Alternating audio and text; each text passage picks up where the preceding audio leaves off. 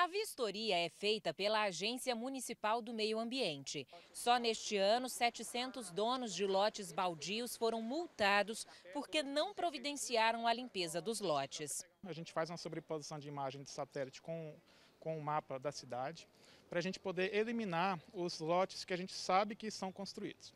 Então a gente já, já, já direciona o nosso trabalho para aqueles que a gente acha que podem ser vagos. Isso já dá um acerto para a gente, estatisticamente, de 80%.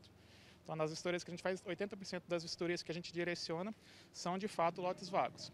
Dos 144 mil lotes vagos que existem hoje em Goiânia, 34% estão limpos, 40% têm mato alto e 8% são depósitos de lixo e entulho.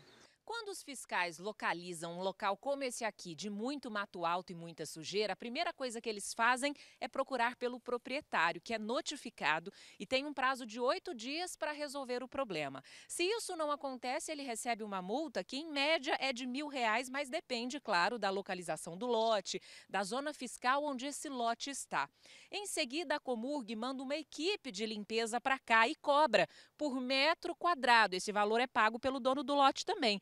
Esse aqui, por exemplo, o valor médio da limpeza seria de aproximadamente uns 400, 450 reais.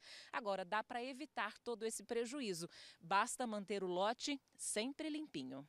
As vistorias são diárias e muitas acontecem depois de denúncias dos vizinhos desses lotes, incomodados com a sujeira e a insegurança tem mosquito da dengue, além dos outros insetos, né? É muito difícil, meio complicado. A pessoa tem que ter consciência de que ela vive na coletividade e tem que manter esse lote limpo. A prefeitura vai atuar nos casos em que o dono for omisso, vai atuar e vai fazer a limpeza, mas vai cobrar pelo serviço.